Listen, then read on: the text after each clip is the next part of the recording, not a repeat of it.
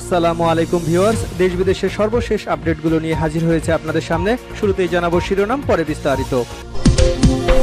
দেশে অবশ্যই নির্বাচন হবে সেটা তত্ত্বাবধায়ক সরকারের অধীনে বললেন বিএনপি মহাসচিব মির্জা ফখরুল ইসলাম আলমগীর বাংলাদেশকে খেলার মাঠ হতে দেব না বললেন সভাপতি হাসানুল হক ইনু জানিয়ে দিব বিএনপি প্রশাসনে নির্বাচনে যাবে না হতেও দেবে না বললেন বিএনপি নেতা আমির খসরু মাহমুদ চৌধুরী এরপর আরও জানাব সংবিধান অনুযায়ী নির্বাচন করতে হবে এর কোনো অর্থ নেই এটা আওয়ামী সরকারের সম্পূর্ণ ধোকাবাজি বললেন জাতীয় পার্টির চেয়ারম্যান জি এম কাদের আরও জানিয়ে দিব জাতীয় নির্বাচন ঘিরে রাজনীতিতে মেরুকরণ হচ্ছে বললেন আওয়ামী লীগ সাধারণ সম্পাদক ওপায়তুল কাদের সাংবাদিক নাদিম হত্যা জামালপুরে ইউপি চেয়ারম্যান বাবুর সাময়িক বরখাস্ত এবং আরও থাকবে গাজীপুরে শ্রমিক বিক্ষোভ পাল্টাপাল্টি ধাওয়া এবং সর্বশেষ জানিয়ে দিব আমেরিকা কি গণতন্ত্র চায় নাকি সেন্ট মার্টিন চায় প্রশ্ন হাসানুল হক ইনুর ভিওয়ার্স এতক্ষণ শুনছিলেন দেশের উল্লেখযোগ্য সংবাদ শিরোনামগুলি এখন জানিয়ে দিব বিস্তারিত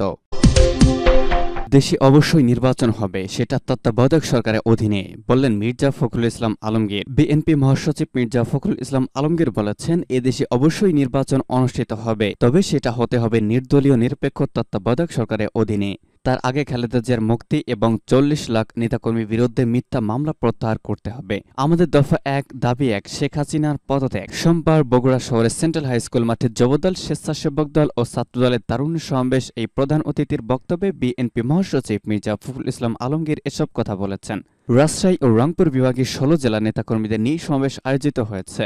আওয়ামী লীগের নেতা ও মন্ত্রীদের কথা শুনে ঘোড়া ও হাসে মন্তব্য করে মির্জা ফখরুল ইসলাম আলমগীর বলেছেন সরকার বেসামাল হয়ে পড়েছে কখন কি বলে বোঝা যায় না সরকার আজ রাষ্ট্রীয় বাহিনী ব্যবহার করে দেশ পরিচালনা করছে আবার তারাই মুক্তিযুদ্ধের চেতনার কথা বলে তিনি বলেন দু হাজার আট এবং দু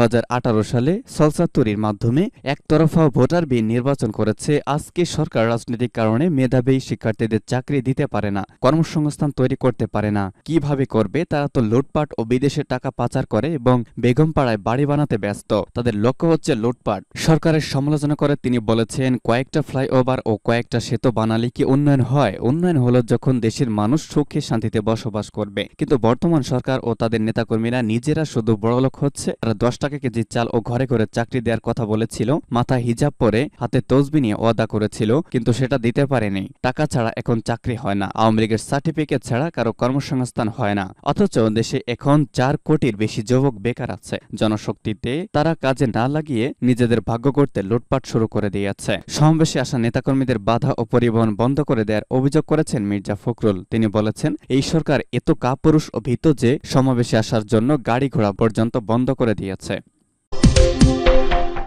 বাংলাদেশকে খেলার মাঠ হতে দিব না বললেন হাসানুল হক ইনু জাতীয় সমাজতান্ত্রিক দলের সভাপতি হাসানুল হক ইনু বলেছেন বিশ হাজার মাইল দূরের কেউ এসে আমাদের দেশকে খেলার মাঠ বানাবে আমরা সেটা হতে দেব না বাংলাদেশকে আমরা দাম দিয়ে কিনেছি কারো দানে পাওনা নয় স্বাধীন সার্বভৌম বাংলাদেশে সঠিক সময় সংবিধান অনুযায়ী নির্বাচন হবে এটাই মদ্দা কথা সোমবার জাতীয় সংসদে দু হাজার তেইশ দু হাজার চব্বিশ অর্থ বছরে প্রস্তাবিত বাজেটের ওপর সাধারণ আলোচনায় অংশ নিয়ে তিনি এসব কথা বলেছেন বিএনপিকে নির্বাচনে অংশ নেওয়ার আহ্বান জানিয়ে তিনি বলেছেন বলেছেন নির্বাচনের ট্রেনে উঠুন নির্বাচন ঠেকাতে এলে ট্রেনে কাটা পড়বেন কলার ভেলায় চড়ে সাগরে ভেসে যাবেন এই দেশে উনিশশো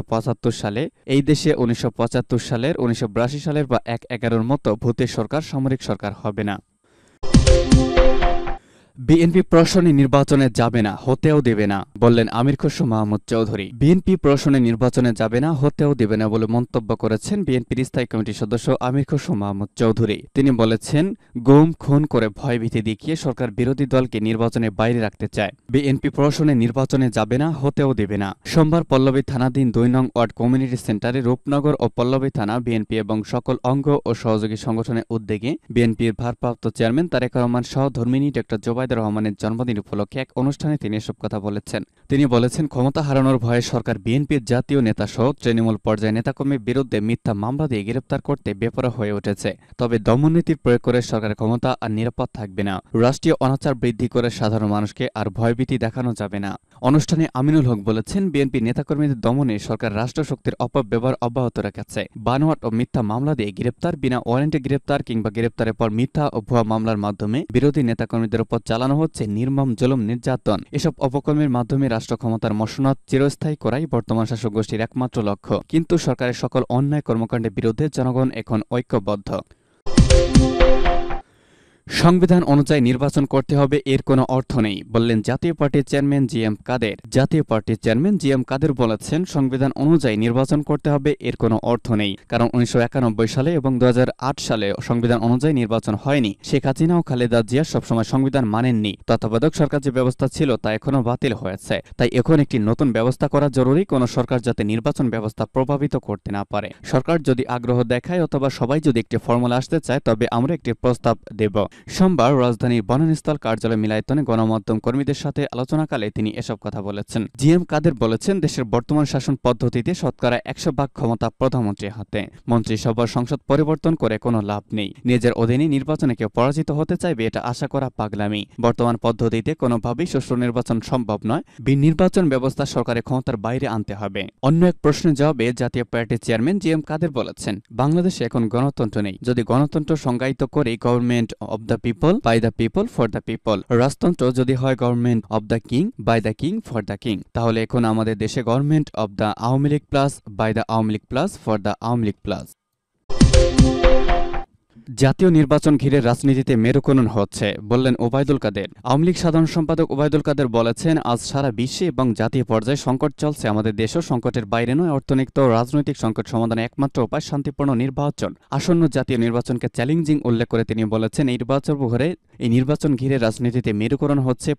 অধিক মতের প্রদর্শন হচ্ছে সোমবার আওয়ামী লীগ সভাপতি ধানমন্ডি কার্যালয়ের দলের সম্পাদক মণ্ডলী সভা শেষে ওবায়দুল কাদের এসব কথা বলেছেন সাংবাদিকদের সেতুমন্ত্রী বলেছেন আগামী জাতীয় নির্বাচন চ্যালেঞ্জ চ্যালেঞ্জিং হবে এখানে জাতীয় আন্তর্জাতিক সংকট একাকার হয়ে গেছে সেই সংকট থেকে আমাদের দেশের মতো রেহাই পাবে না এমনই ভাবার কোনো কারণ নেই তিনি বলেছেন শেখ হাসিনা প্রধানমন্ত্রী অত্যন্ত জনপ্রিয় অবস্থায় নির্বাচন হলে বিএনপি জয়লাভ করতে পারবে না শেখ হাসিনার জনপ্রিয়তা দেখে তারা শঙ্কিত এ কারণে বিএনপির নেতৃত্বে একটি মহল নির্বাচনকে প্রশ্নবিদ্ধ করতে চায় নিজেরা ব্যর্থ হয়ে বিদেশ শক্তি ব্যবহার করতে চায় প্রথমে তারা বিদেশিদের কাছে নালিশ করতে গেছে এখন তারা আমেরিকায় ইউরোপীয় ইউনিয়নে লবিস্ট নিয়োগ করেছে